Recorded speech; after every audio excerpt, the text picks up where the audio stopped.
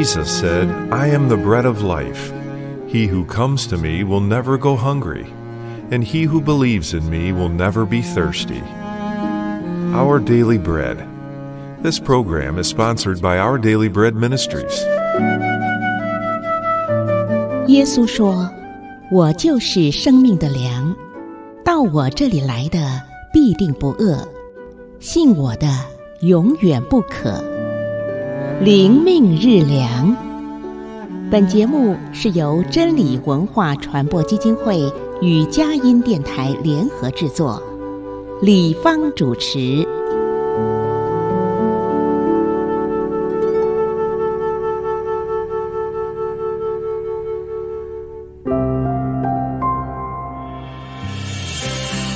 Welcome to another daily encouragement from our daily bread. My name is Sochil Dixon. I'd like to share how God freed me from believing lies others told me in today's reading, Lies with Truth. I set my Bible on the podium and stared at the eager faces waiting for me to begin the message. I'd prayed and prepared. Why couldn't I speak? You're worthless. No one will ever listen to you, especially if they know your past.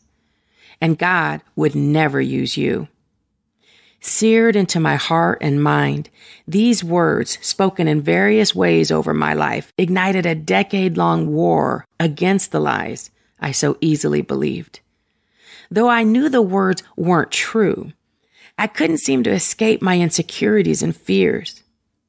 So I opened my Bible. Turning to Proverbs 30, verse 5, I inhaled and exhaled slowly before reading out loud. Every word of God is flawless, I read. He is a shield to those who take refuge in him. I closed my eyes as peace overwhelmed me, and I began to share my testimony with the crowd. Many of us have experienced the paralyzing power of negative words or opinions others have of us. However, God's words are flawless, perfect, and absolutely sound. When we're tempted to believe spirit crushing ideas about our value or our purpose as God's children, God's enduring and infallible truth protects our minds and our hearts. We can echo the psalmist who wrote, I remember, Lord, your ancient laws, and I find comfort in them. Let's combat lies we've accepted about God, ourselves, and others by replacing negative speak with scripture.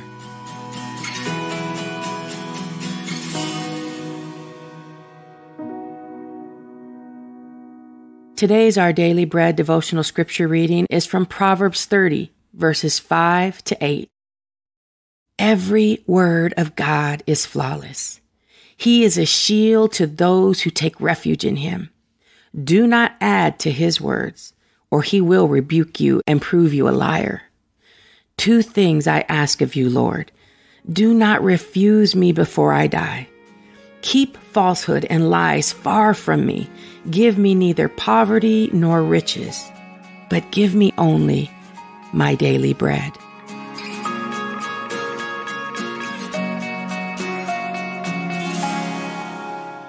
Let's pray. Loving Father, Thank you for providing and preserving your whole story in the Bible. Please help us to prayerfully study scripture as you help us view life through the lens of your perfect, absolute, unchanging, and sound truth. In Jesus' name we pray. Amen.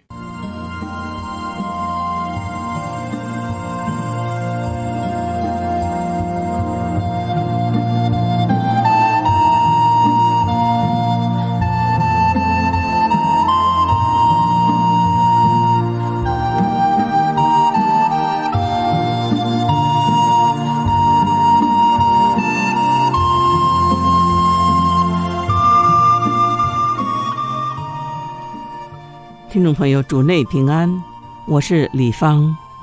在今天的灵命日粮，我们要借着旧约的箴言三十章的五到八节，来思想我们今天的主题：用真理对抗谎言，用真理对抗谎言。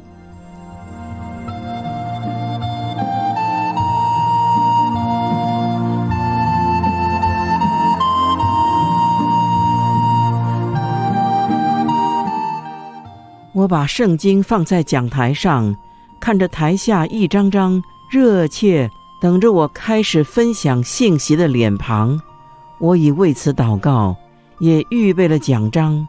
为什么我会说不出话来呢？你就是一个没有用的人。一旦知道你的过去，你说什么，他们都不会听。上帝绝不可能使用你。这些烙印在我心中的控诉。在我一生中，总以不同的方式出现，使我陷入长达十年的内心交战。因我总是轻易相信这些谎言，虽然知道这些都是假的，但我似乎就是无法摆脱内心的不安和惧怕。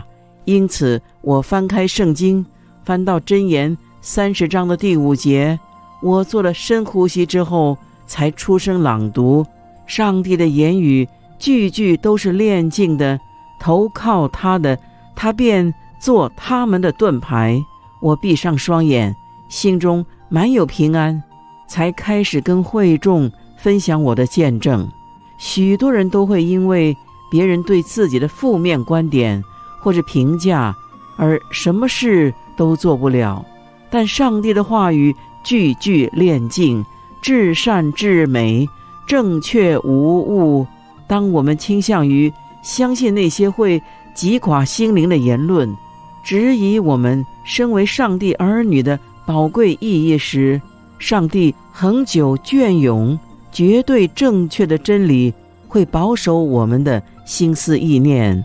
我们能与诗篇作者同声颂扬：耶和华啊，我纪念你从古以来的典章。就得了安慰，让我们一起击溃那些错性的谎言，以圣经真理来取代那些有关上帝、我们自己以及他人的负面言辞。您错信哪些谎言呢？哪些经文帮助您透过圣经真理重新看待自己、上帝和别人呢？我们要来到慈爱的天父面前。请天父帮助我们，能以祷告的心阅读圣经，因为神会帮助我们透过圣经的真理检视自己的生命。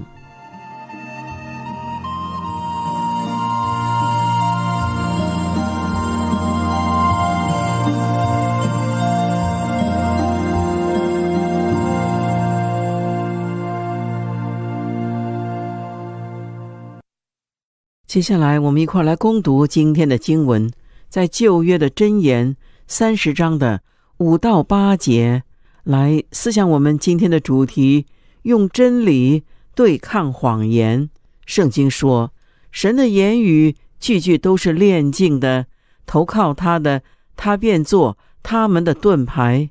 他的言语你不可加添，恐怕他责备你，你就显为说谎言的。我求你两件事，在我未死之先，不要不赐给我。求你使虚假和谎言远离我，使我也不贫穷，也不富足，赐给我需用的饮食。我们的圣经就攻读到这里。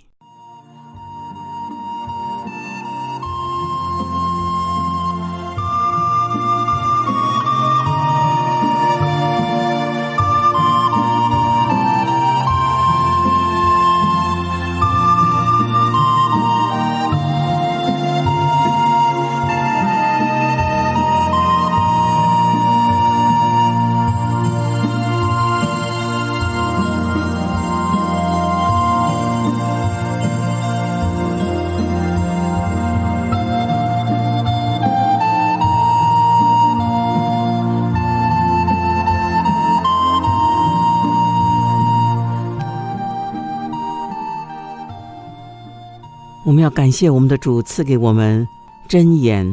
真言这本书一开始就已经明确的说，所罗门的真言是要使人晓得智慧和训诲。所以这本书最重要的目的就是要我们寻求智慧。什么叫做智慧？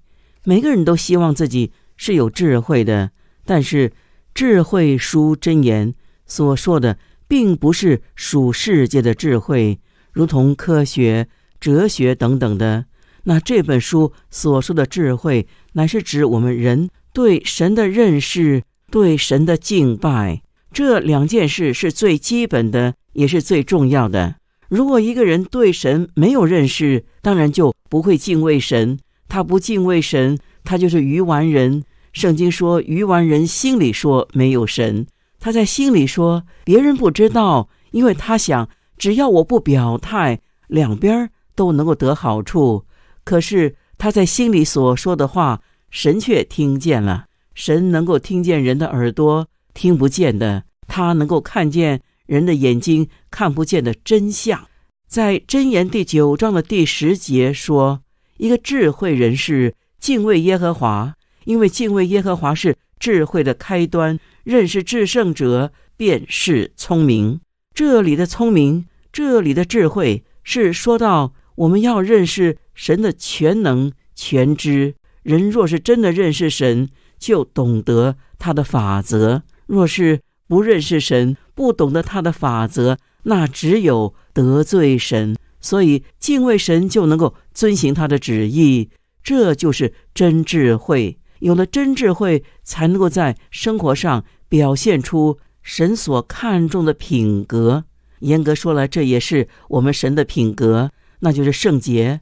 公义、良善、温柔的品格和超越的道德，在箴言书里也特别提到神所喜悦的和神所憎恶的这两件事。圣经是毫不避讳的告诉我们，为的就是要我们真的知道如何的行走在神的道路上。我们先来看我们的神所恨恶的是什么呢？在箴言第六章的。十六到十九节告诉我们，神所恨恶的有六样，连他心中所憎恶的有七样，就是高傲的眼、撒谎的舌头、流无辜人血的手、涂抹恶迹的心、飞跑行恶的脚、图谎言的假见证，并在弟兄中布散纷争的人。在我们的生活里，这几样我们有做吗？特别是。这七样有三样是关于我们说话的问题，譬如撒谎的舌头，还有图谎言的假见证，并在弟兄中布散纷争的人，这都是话语的问题。最喜欢撒谎的，那就是魔鬼仇敌了。在圣经多处都提到，仇敌魔鬼是那说谎之人的父，所以喜欢说谎话的，喜欢做假见证的。他自然不是属于神的。在启示录第十二章说到，仇敌呢是日夜在神的面前控告我们的。他控告我们的弟兄，他也控告我们。他所控告的有时候是有点真，但是呢又不是全部的真。就像他控告约伯一样，他认为约伯一定会气绝耶和华，因为他说你总是。保护他，所以他才敬拜你。如果你把所有的保护都拿掉了，他必当面气绝你。他这么说有一点对，因为我们的神确实是保护了约伯，就像我们的神总是保护我们一样。但是魔鬼没有想到，我们基督徒和约伯一样，我们相信主耶稣是我们的救主，并不是因为主耶稣答应我们要给我们什么好处。我们是被主的爱所感动，并且我们了解，除他以外别无拯救。虽然魔鬼总是找机会借着许多的人事物让我们灰心，让我们失望，甚至让我们怀疑神的赦免是不是永远的，是算数吗？我以前曾经做过的，他说忘记就真的忘记了吗？我真的有资格来接受他大爱的救赎吗？那为什么我来到教会，并不是每一个人都对我很友善呢？这一点我们需要知道，不是每一个人都认识我们，不是每一个人都了解我们，他们来到教会也有他们需要得到帮助的地方。所以，当我们觉得没有勇气，当我们怀疑是不是别人没有那么欢迎我们的时候，让我们先来欢迎别人，用相信主的话，并且实践主的话，成为得胜者，对抗仇敌在我们心里放进去的谎言。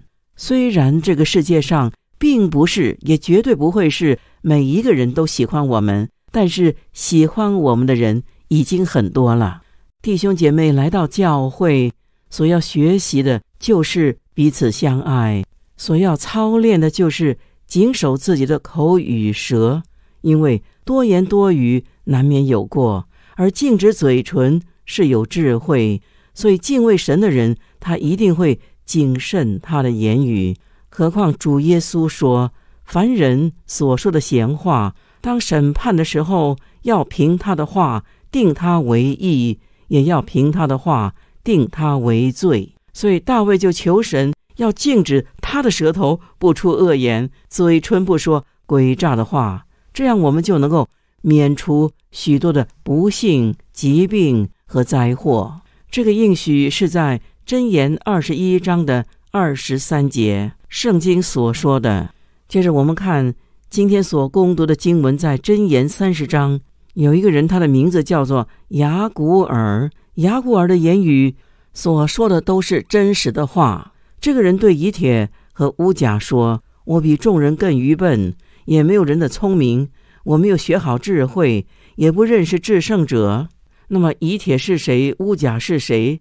可能是他的朋友，或者是他的门徒，所以这章所收集的言语乃是用来劝勉他的朋友。他虽然说比众人更愚笨，也没有人的智慧，他也没有学好智慧，也不认识制胜者。他真的是这样吗？真的是一无所知吗？弟兄姐妹，只有智慧人才肯承认自己一无所知。这就好比所罗门当年。要登基做王，他在神的面前求智慧。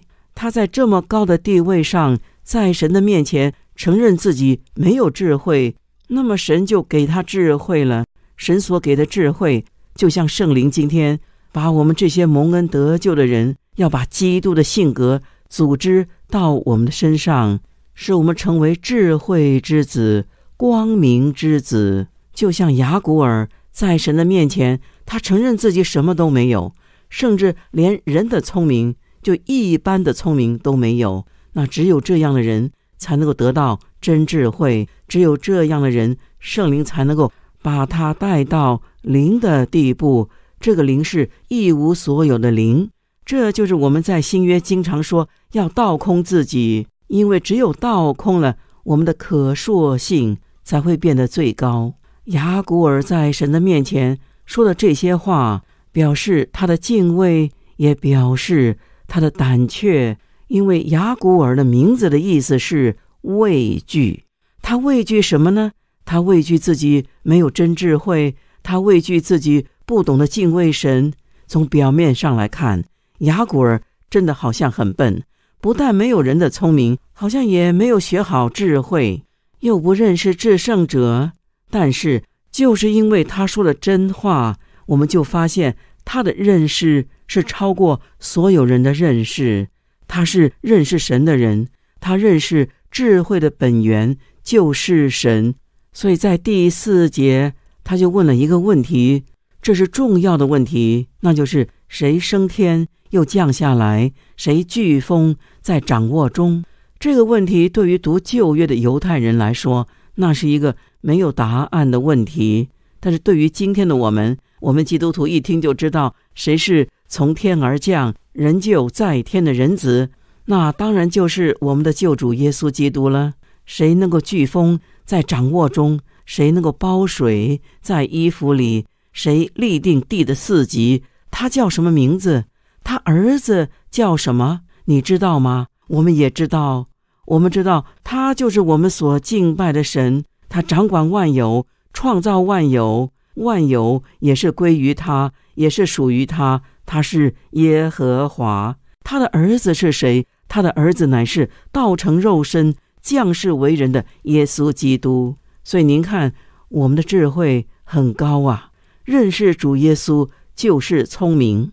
我们好像比雅古尔还聪明，因为雅古尔是降生在主耶稣降生以前，所以他不认识耶稣；而我们是生在主耶稣降生以后，我们认识这一位至圣者。若是不认识他，也不愿意认识他，也不承认他，那就是最愚笨的人。还有，我们若是读神的话，那么我们这个人就有智慧。圣经第五、第六节说，神的言语句句都是炼净的，投靠他的，他便做他们的盾牌。他的言语你不可加添，恐怕他责备你，你就显为说谎言的。在诗篇十二篇也告诉我们，耶和华的话语句句都炼净的，如同银子在炉中经过七次的提炼一样，所以无可加添，也不能减少。如果相信他的话，并倚靠他的话，那就必定如同盾牌那样的保护我们。神的话是我们的保护，遵行他话语的人，神的话就像盾牌那样的保护我们。直到永远，神的话不可加添，也不可减少。这些预言在启示录二十二章，在十八节说：“我向一切听见这书上预言的做见证。若有人在这预言上加添什么，神必将写在这书上的灾祸加在他身上。这书上的预言，若有人删去什么，神必从这书上所写的生命树和圣城。”删去他的份儿。今天我们读箴言三十章的人，也需要记得雅古尔的祷告。他祷告求神让虚假和谎言离开他，这是一件很不容易的祷告。因为有的时候，我们只要稍微的有一点点的虚假，我们可能会变成百万富翁。但是我们要祷告说：“主啊，我宁可贫穷，求你使虚假。”和谎言离开我们，能够做这样的祷告，是因为我们真的认识智慧的本源。另外一个祷告就是求神让他不要富足，因为他担心自己一旦富足了就会忘记神。这是我们的祷告吗？这个祷告是很严肃的，因为我们的神会听我们的祷告。你不要穷，神可以帮助你不穷，但是我不要富。免得我忘记你，这个祷告神听见了，他会答应的。但是感谢主，今生不是永生。我们要马门还是要主呢？我们要侍奉神还是侍奉马门呢？我们只能够选一个，您要选谁呢？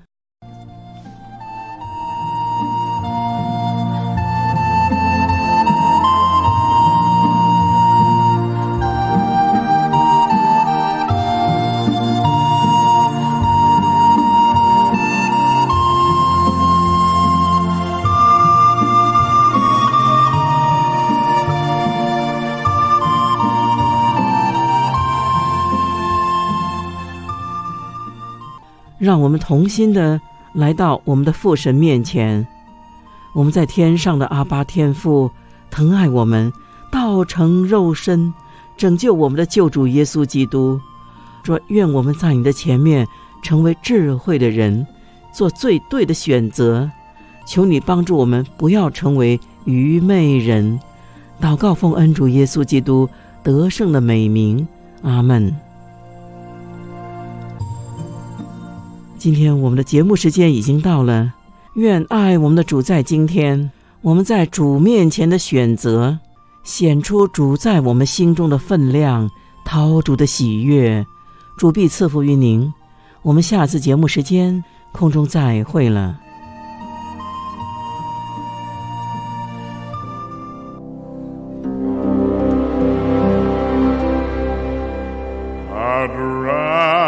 rather have Jesus than silver or gold. I'd rather be his than have riches untold. I'd rather have Jesus than houses or land. I'd rather be led by his nail pierced hand.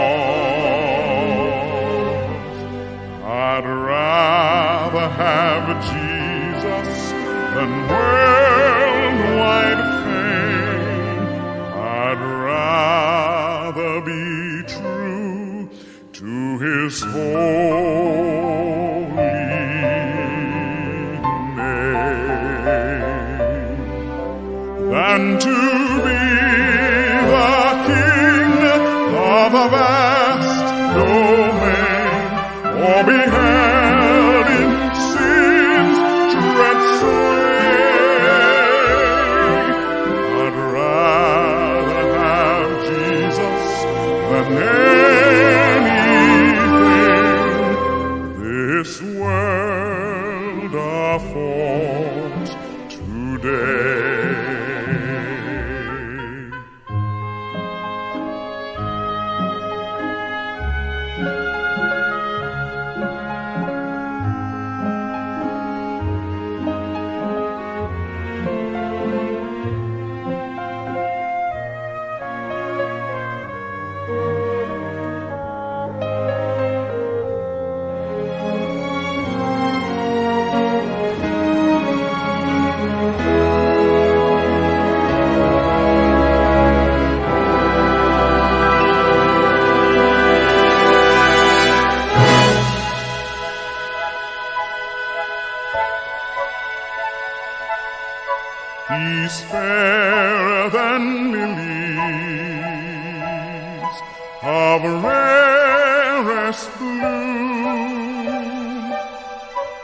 is sweeter than honey from our heart.